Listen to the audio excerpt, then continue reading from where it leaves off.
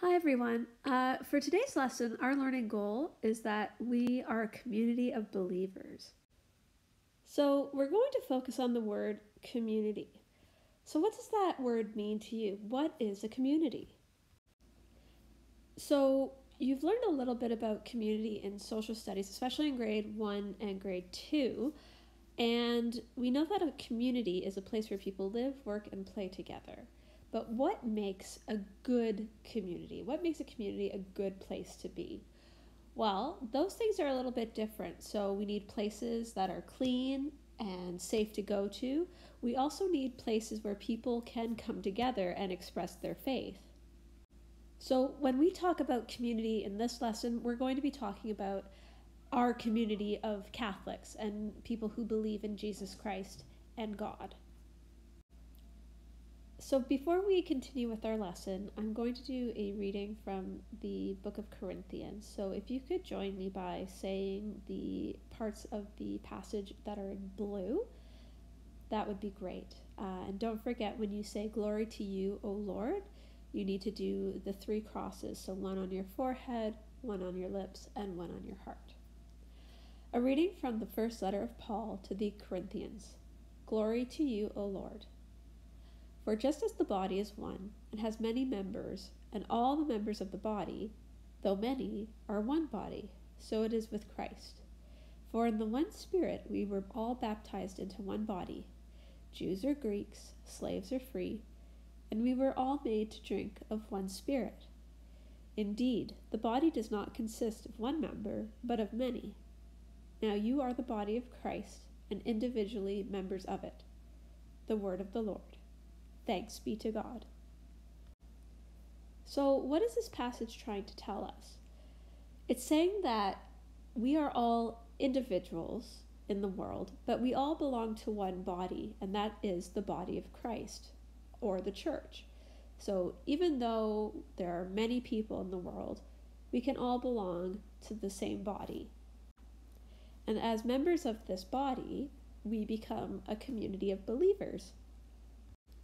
So now we're going to read a passage from our textbook, and the title is The Community of Believers. So we're going to be talking more about um, everyone who makes up the body of Christ, so everyone who is part of the community of believers. Since the beginning of the church at Pentecost, the Holy Spirit has worked among the community of believers. Disciples of the early church were devoted to the apostles' teaching and fellowship. They broke bread and prayed together. They gathered together in homes to worship and pray to God.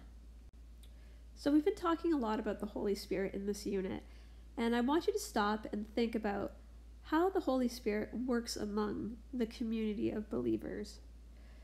So, He gives us courage, He gives us guidance, and He helps us.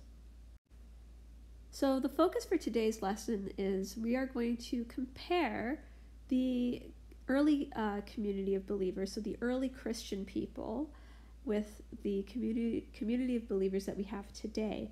We're going to see what is the same and what is different between these two communities. So the church is a community of spiritual people, so people who are called by God to lead others. So now we're going to continue with the rest of the passage so you can read along with me. The disciples used their special gifts or charisms from the Holy Spirit to establish the church and bring Christ's message to others. They took care of people who were hungry, sick, and homeless. They began to build up the body of Christ in holiness, service, and charity. The Holy Spirit continues to work among members of the church today. So we're going to look at the faith facts at the bottom right hand corner here. And it says, In the same way, the Father, Son, and Holy Spirit are one in the blessed Trinity, the members of the body of Christ are also called to be one. With the help of the Holy Spirit, people work to become more connected, to share God's love, and to live together in harmony and peace.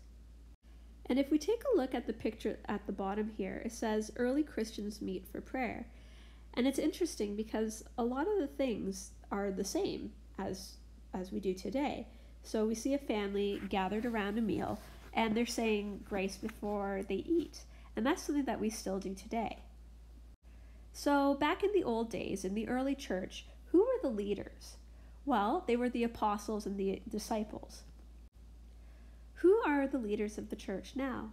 Well, that would be bishops, priests, deacons, and there are also several other spiritual religious orders like the Jesuits and the Franciscans, and they do a lot of important work for the church as well. There are also other people in the community who aren't ordained, so they didn't go to school to become a priest, um, but they can still lead us and teach us as well. And these people often work in a parish or a church, and they do things like community outreach, so helping those who are less fortunate. And they also do things like um, maybe lead a youth ministry so that they can tell young people about the word of the Lord. So, back in the old days, they didn't really have churches like we had now. So, early Christians often gathered in their homes to pray and to reflect and to think about God. So today it's a little bit different. Today we have places of worship, so churches, and we gather there to pray and to think about God as a community. Before we begin this page, we're going to talk a little bit about the works of charity that the Catholic Church does. So, before we even begin this discussion, what does the word charity mean? So, when we say the word charity, we're talking about acts of love and caring for others that promote the common good. But what does the common good mean? Well, the common good means that those people who have a lot should share with people who don't have a lot. So, imagine you're at a birthday party for your friend, and your friend has a birthday cake, and your friend gives you one slice of the birthday cake but keeps the rest for herself that is not acting in the common good. So instead of keeping the birthday cake all to herself, she should give all of her friends a slice of cake and maybe have one slice of cake for herself. That's more fair, that's more just. So now we're going to talk a little bit more about the work we do as a community of believers, and these are called communions. So you might remember that word from your first communion. So, a communion means coming together. So, we're going to read first about the communion of spiritual gifts. So, that's communities of men and of women called religious orders lead lives devoted to prayer, charity, and the spread of the gospel. Communion in faith and prayer. We gather in community in our parishes under the leadership of the Pope and bishops. People throughout the world gather in local parish communities to worship and pray to God. Communion in charisms. We use our special gifts from the Holy Spirit to share in the work of building up the church and bringing Christ's message to others. Community and charity.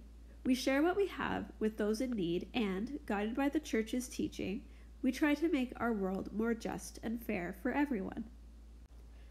So, even though we're all a little bit different in different ways, so for example, we don't all have the same talents, we don't all have the same gifts, we can still bring what we do have into the community of believers, and we can be united in a community together.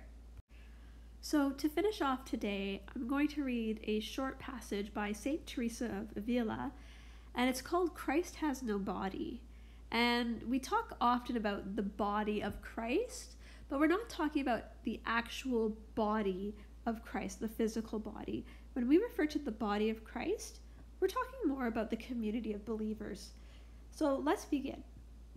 Christ has no body. Christ has no body but yours, no hands, no feet on earth but yours. Yours are the eyes with which he looks with compassion on this world. Yours are the feet with which he walks to do good. Yours are the hands with which he blesses all the world. Christ has no body now on earth but yours. So, for your exit pass, I want you to write a short journal entry about all the communities to which you belong. So, think about your school community. So, you belong to our school community. Maybe you're on a soccer team. That's a community. And I know during this time when we're not allowed to get together, it can be kind of weird to think about community and how things used to be. But just know that things will get back to normal and we'll get back to getting together again. So just think about all those communities that you belong to and look forward to the day when you can go back into those communities. So that's all for our lesson today. I hope you all have a wonderful week and I'll see you tomorrow.